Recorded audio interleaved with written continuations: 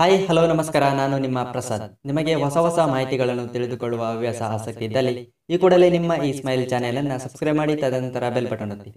ನಾವು ಮಾಡುವ ಪ್ರತಿದಿನದ ಹೊಸ ಹೊಸ ಮಾಹಿತಿಗಳನ್ನು ನೀವು ಪಡೆಯಿರಿ. ನಾವು ಕೆಲವೊಮ್ಮೆ ಗಮನಿಸ್ತೀವಿ. ಕೆಲವೊಮ್ಮೆ ಮೂಗಿನ ಒಂದೇ ಹೊಳ್ಳೆಯಲ್ಲಿ ನಾವು ಉಸಿರಾಡ್ತೀವಿ. ಇದು ಯಾಕೆ ಹೀಗೆ ಅಂತ ತಿಳ್ಕೊಳ್ಳೋಕ್ಕೆ ಹೋಗಲ್ಲ. ಬನ್ನಿ, ನಾನು ಈ ವಿಡಿಯೋದಲ್ಲಿ ಬಹುತೇಕ ಸಮಯದಲ್ಲಿ ಮೂಗಿನ ಒಂದೇ ಹೊಳ್ಳೆಯಲ್ಲಿ ಯಾಕೆ ಉಸಿರಾಡ್ತೀವಿ ಅಂತ ತಿಳಿಸಿಕೊಡ್ತೀನಿ.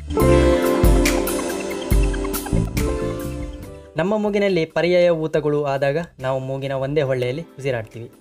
ಮತ್ತು ಟರ್ಬಿನೇಟ್ಸ್ ಎಂಬ ಕವಾಟಿನಂಥ ರಚನೆಗಳ ದಟ್ಟಣೆಯಿಂದ ಕೂಡ ನಾವು ಮೂಗಿನ ಒಂದೇ ಹೊಳ್ಳೆಯಲ್ಲಿ ಉಸಿರಾಡ್ತೀವಿ. ಮತ್ತೊಂದು ಮುಖ್ಯ ಕಾರಣ ಏನೆಂದರೆ, ನಾವು ಉಸಿರಾಡ್ತಾನೆ ಇರುವಾಗ ಮೂಗಿನ ಒಂದು ಹೊಳ್ಳೆಗೆ ವಿಶ್ರಾಂತಿಗಾಗಿ ಮತ್ತೊಂದು ಹೊಳ್ಳೆ ಗಾಳಿಯನ್ನು ಎಳೆದು ಹೊರಗೆ ಬಿಡಲು ಸ್ಥಳಾವಕಾಶ ಕಲ್ಪಿಸಲು ಒಂದು ಹೊಳ್ಳೆ ಮುಚ್ಚಿಕೊಳ್ಳುತ್ತೆ. ಮತ್ತು ಅಗತ್ಯವಿದ್ದಾಗ ಅಂದರೆ ಕೆಲಸದಲ್ಲಿ ತೊಡಗಿರುವಾಗ, ಓಡಾಡುವಾಗ, ವ್ಯಾಯಾಮ ಮಾಡುವಾಗ, ಹೀಗೆ ಯಾವುದೇ ರೀತಿಯಲ್ಲಿ ಕೆಲಸದಲ್ಲಿ ತೊಡಗಿದಾಗ ಮೂಗಿನ ಎರಡು ಹೊಳ್ಳೆಗಳು ತೆರೆದುಕೊಳ್ಳುತ್ತೆ.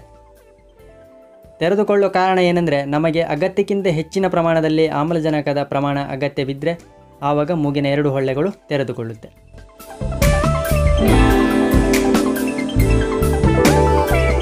ಇದು ನಮ್ಮ ಮೂಗಿನ ಹೊಳ್ಳೆಯ ಕುತೂಹಲಕಾರಿ ಸಂಗತಿ. ಮುಂದಿನ ಹೊಸ ಮಾಹಿತಿಯೊಂದಿಗೆ ಮತ್ತೆ ಭೇಟಿಯಾಗೋಣ. ಶುಭ ದಿನ, ಈ ದಿನ ಈ ಕ್ಷಣ. ಧನ್ಯವಾದ.